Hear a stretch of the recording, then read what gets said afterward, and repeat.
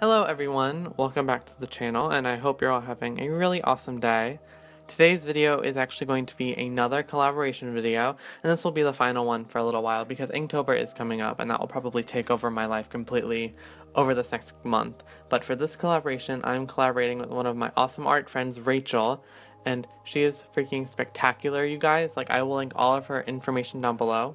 Her Instagram, her YouTube channel, all of it is so freaking gorgeous. And she's really awesome because her styles, she can do so many different styles with her art, and I'm so envious because I pretty much just stick to one style because it's my comfort zone. But she can do realistic stuff, she can do her style, she can do very anime looking art. It's all freaking gorgeous. So you guys should totally go check out her video after this video is finished, of course. And subscribe to her and show her all the support and love you guys show me.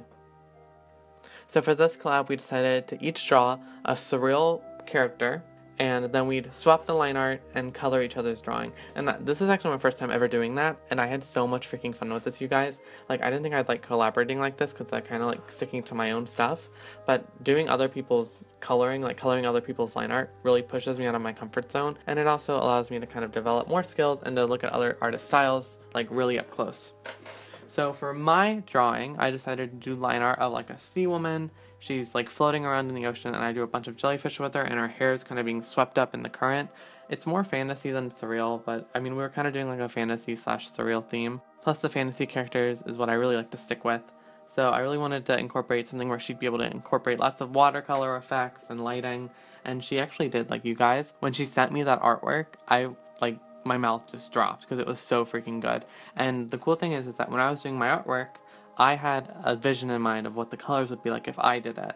But then when I saw what she did, it was completely different from what my expectations were, and I was blown away because it was so different from what I'm used to, and it really like I don't know made me appreciate all these different colors because she really did it with a bunch of colors that I wouldn't expect normally to do with that piece in my mind personally.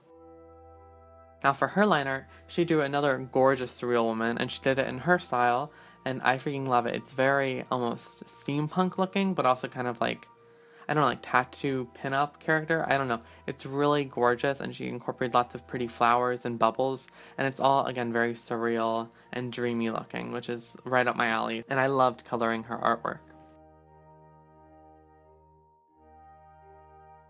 So for my liner, I used a, hold on, what are they called? I don't freaking know off the top of my head. They're called, hold on, I have one right here.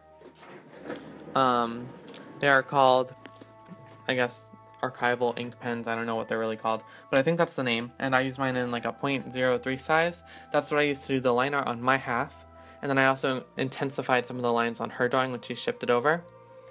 And then to color her drawing, I used Winsor & Newton watercolors, as well as colored pencils, I think they're Prismacolor, and then I did some digital editing at the very end for highlights and bubbles and all the things like that.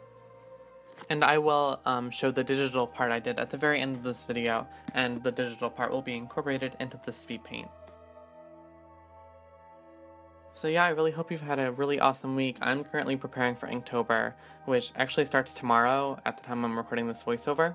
And I'm so freaking excited, but I'm also like kind of terrified because like again, I've tried to do Inktober many times before and every time I failed miserably and it's been a big disaster. So I really hope I can do it this year and I'm really excited to kind of like be able to do a lot of different drawings and kind of like go outside my comfort zone and try a lot of different characters. I definitely want to try to draw more guys.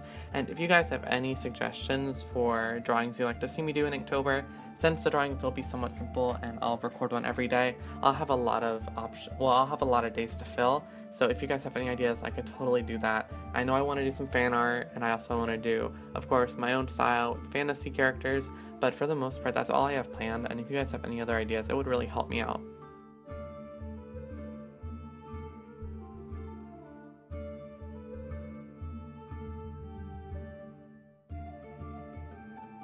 And just so you guys know, if I've messaged you in the last month or so about a collab, I am definitely going to get to that. But since it is Inktober coming up, I do want to focus on that for a little while, or at least get maybe a couple drawings done in advance before I can start working on another collaboration. But I can definitely start working on those collaborations at the latest by um, the end of this month. Because I also do have a couple large commissions I need to get done, and I'm kind of dreading doing them, even though I really want to get them done because they're going to be really awesome when I do them. So I need to start working on those as well, which is why Inktober is going to be good because I'll just be doing small sketches every day and I'll be able to really put a lot of my time and focus on um, the bigger commissions I'm doing. And oh my gosh, you guys, just so you guys know, freaking Banks released her album today, and if you don't know who Banks is, she's basically like the most badass alternative woman singer out there. Like, she's so freaking talented, and all of her songs are like super deep and like emotional. And every time I listen to her music, I just feel like a freaking like badass just because her songs are so freaking intense. And she released an album today, and I've pretty much spent all day listening to it, and I know all the lyrics of all the songs already. And if you guys have never heard of Banks, you should totally go listen to her music and download the album and support her because she's freaking amazing and she deserves so much more support. So like there's my little musical suggestion for the week. You should definitely go listen to The Altar by Banks because like again, perfection. She's a freaking goddess. Oh my god, and while I was editing this video and while I was like going through the footage, I didn't realize but like the entire time I'm painting or drawing and Banks brought this up. I'm freaking like belting or attempting to belt because literally I can't sing at all. And if I included a clip, your guys' ears would like bleed. But like I'm just singing the entire time and it's like the cringiest thing to watch back if it's not sped up with the sound taken off. So yeah, I really hope you've all had a really great week, and I will see you all for the Inktober videos next week. And again, please go check out Rachel's channel and support her and watch her perspective and see what she did with my line art. So I hope you all have a really awesome rest of your day, and I will see you all in my next video.